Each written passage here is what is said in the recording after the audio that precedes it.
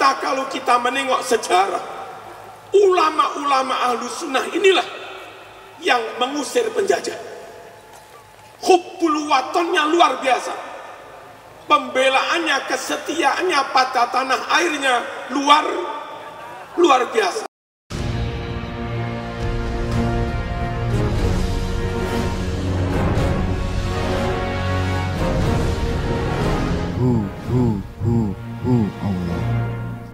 Indonesia dijajah Belanda selama 350-an tahun. Dan yang luar biasa, sekian lama dijajah Belanda, Islamnya yang warisan Wali Songo itu tetap bertahan pada prosentase kisaran 90 persen. Filipina dulu Muslim, saking Islamnya Filipina, nama ibu kotanya Amanillah. Itu nggak sempesak. Itu dari guru saya ketika kuliah di Al Jami'ah Muhammad bin Saud. Itu namanya bukan Manila, itu Amanillah. Benar-benar Islamnya kuat banget. Tapi ternyata tinggal beberapa persen. Singapura dulu Islam hampir 100 persen. Sekarang tinggal 14 persen. Myanmar, Burma, tadi ada ulama Al-Birmawi. Itu dulu Islam mayoritas. Sekarang tinggal berapa? Tapi Indonesia Nusantara dijajah Londo tolong atus seket tahun Islamnya tetap 90 persen Siapa yang menjaga Islam tetap 90 persen. Siapa yang berdakwah tetap 90 persen. Bukan pemerintah. Karena pemerintah Londo nggak kira dakwah. Bukan pemerintah. Itu sunan-sunan punya murid kiai-kiai mendirikan pondok panji, mendirikan pondok Sidogiri, muassis pendiri Sidogiri itu Said Sulaiman Mojo, Mojo Agung. Menantunya Kiai Soleh Pasuruan, Kiai Soleh bin Sultan Hasa, Hasa, Hasanuddin. Para kiai-kiai, para ulama-ulama pesantrinya itulah yang gigih menjaga, mempertahankan Islam, iman, akidah ahlu sunnah wal jamaah di bumi Nusantara. Lahumul Fatihah.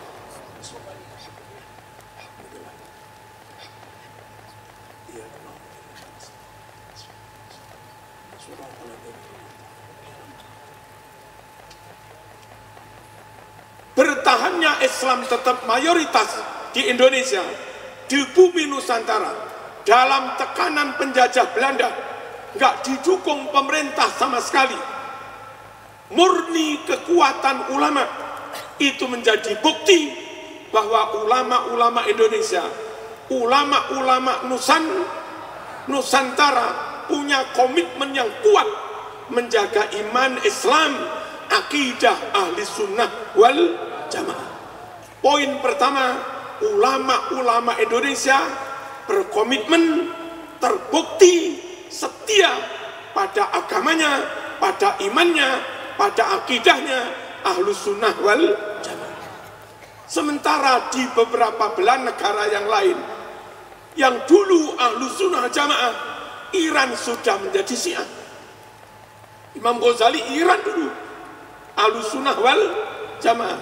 Setia, jadi apa mungkin? tahun ini. Saudi dulu ahlu sunnah jamaah. Kiki sepuh Jawa dulu ngajinya di Mekah. Pakai ahlu sunnah jamaah. Tapi Saudi mayoritas sekarang sudah menjadi wahab wahabi. Di Mesir ada ikhwanul muslimin. Di Indonesia Alhamdulillah. Dengan gigihnya ulama-ulama Indonesia baik yang keturunan Jawa asli pribumi dengan ciri irung pesek. Atau yang keturunan Rasulullah Sallallahu Alaihi Wasallam para habaib dengan ciri irung bangir ganteng bisa. Semua terbukti berkomitmen menjaga akidah ahlu sunnah wal kalau kita tetap derek ulama-ulama Indonesia kayak NU dan yang lain-lain jamin sampai mati. Akidah kita tetap ahlu sunnah wal jamaah. Jangan kepada yang lain-lain karena belum jel belum jel belum jelas. Satu. Yang kedua ternyata kalau kita menengok sejarah ulama-ulama ahlu sunnah inilah yang mengusir penjajah. Hubbul watonnya luar biasa pembelaannya kesetiaannya pada tanah airnya luar luar biasa. Syekhona mengarang buku apa tadi? Hubbul auton minal minal minal iman. Nun sewu kita lihat. Peperangan-peperangan melawan penjajah. Sultan Hasanuddin ulama dia bersama para murid dan santrinya di Ponegoro ulama dia melawan penjajah bersama para muridnya. Hizbullah yang dirikan Mbah Hashim Ash'ari itu pasukan mengusir penjajah ulama bersama para san santrinya. Di Malang ada Ki Maskur Singosari mendirikan pasukan Sabi. Sabi Sabilillah itu gerakan melawan penjajah oleh ulama dengan para santrinya. Halo. 10 November meletus. Antara lain dimotori dikomandani oleh Bung Tomo. Pakainya pakai Allahu Akbar. Dia santri. Arek Surabaya ngaji neng Kasim kota Malang. Kudu ngaji neng Panjen ngaji di Kasin Kota Malang muridnya Kiai Mukti. Yang makamnya Kiai Mukti ada di belakang Masjid Mukarramah itu. Santri itu namanya Bung Bung Tomo. Akan perang pun istisaroh minta nasihat, minta masukan, minta doa kepada Mbah Hashim As'ari. Akhlak santri akan melangkah pamit ki pamit kiai. Ibnu santri apa enggak dilihat saja oleh Arab Rabi pamit kiai berarti yo santri. Riyadul Jannah itu santri apa enggak? Entah nono oleh Rabi pamit Habib Abdurrahman Baroba berarti ya santri. Lek lucu ya sakar BJW yo.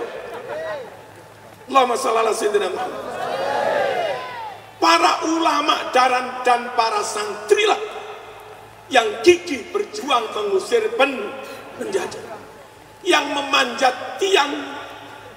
Lalu ketika ada bendera Belanda di atas merah putih biru dipanjat dirobek yang biru tinggal merah putih. Itu banser namanya Caas Ari halo? Banser namanya Cak Caas Ari ulama-ulama kita top komitmen imannya top menjaga Islamnya top menjaga akidahnya dan top membela tanah tanah airnya yang kayak begini ini loh yang harus kita teruskan yang harus kita jadikan panu panutan kita uswah. Ada model tertentu top Islamnya tapi ngesroh di negara kita. Ojo timelo izin menunggu. Halo? Halo? Awas mana melo sampai negeri ini kesro perang saudara entah berapa tahun yang akan datang. Anakmu gak iso ngaji TPG kalau negeri ini perang maulid bubar simtuduror bubar dia ulame bubar dia tibaan bubar riadul jannah bubar lek negara ini per perang diniyah bubar madrasah bubar gak situ rapi anakmu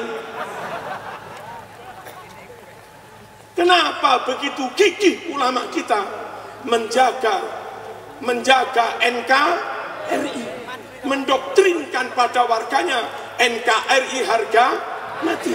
Negeri ini kalau tetap aman utuh, lancarlah pengajian. Negeri ini kalau tetap aman utuh, lancarlah dakwah.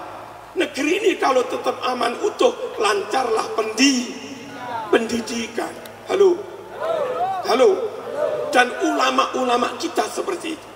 Ada kelompok tertentu terlalu nasionalis, tapi gak sholat, bukan panutan kita itu.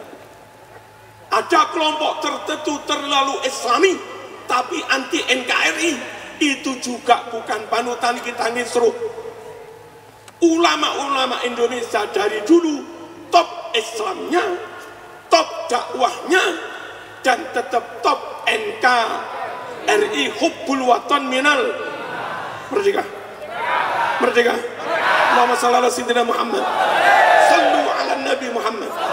Sallu ala Nabi Muhammad. Sallallahu alaihi wasallam catatan. Nyun sewu. Tinggal Indonesia saja. Negeri muslim terbesar teraman yang mayoritas ahlu sunnah wal jamaah karena tinggal di Indonesia terbesar, teraman, terbesar mayoritas alusunah jamaah, maka amalia alusunah bisa dilaksanakan besar-besaran secara aman hanya di Indonesia. Rasulullah Sallallahu Alaihi Wasallam lahir di Mekah, tapi jangan kamu berharap bisa mulutan besar-besaran di Mekah, nggak bisa, karena sudah dikuasai Wahabi. En kita ya, en kita ya. Imam Ghazali Nun sewu di Iran.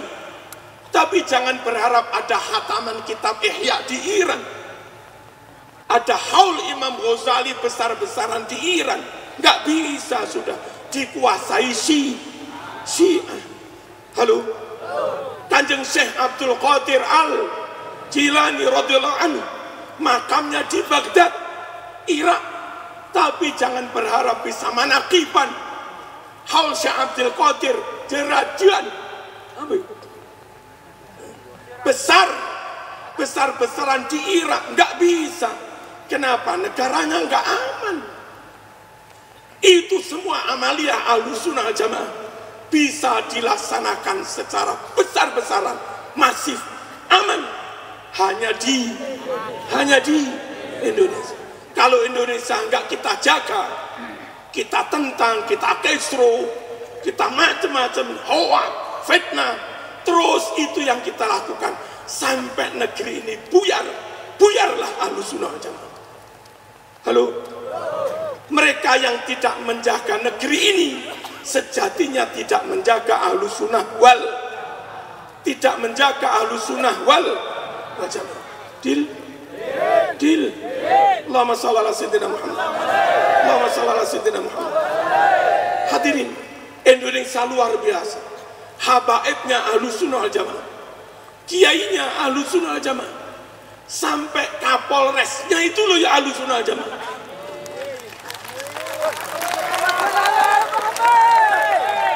kita ya bupatinya ahlu sunnah wal jamaah. Wali kotanya. Neka alumni tambah beres alumni tambah beras. Ahlu sunnah wal jamaah. Halo. Halo. Dan demnya ini. Ahlu sunnah wal jamaah. Kapolresta mana? yang mana ah, ahlu sunnah wal jamaah. Ini yang kota Dandem ahlu sunnah wal jamaah. Kapolrestanya Sulawesi ahlu sunnah wal jamaah. Pas sudah umatnya rakyatnya mayoritas ahlu sunnah wal jamaah. Dibimbing ulama habaib ahlu sunnah wal jamaah. Dilalah punya pejabat ya. Ya ahlu sunnah wal jamaah. Barokah ini semua ahlu sunnah tibaan lancar. Maulid lancar. Riyadul jannah lancar. Ariduan lancar. Ar-rasul lancar. Al-ghubar lancar. Halo. Halo. Lancar semua. Ayo kita jaga negeri ini. Pokok negeri ini kita jaga. Insya Allah ahlus sunnah aman-aman saja. Insya terakhir kami sampaikan terima kasih khususnya pada TNI Polri yang telah mendampingi kita semua, menjaga kita semua dengan kerja top TNI Polri, dengan adanya intel-intel dari mereka, terus memantau sisi keamanan, akhirnya solawatan aman, pengajian aman. Coba tentara ini turun, intel turun, polisi ini turu ngambek gak joko ning kono ana bom taun ning sene kasabeda teroris taun ning sana pleman solawatan abu mate sampean kena bu wassalamualaikum warahmatullahi wabarakatuh.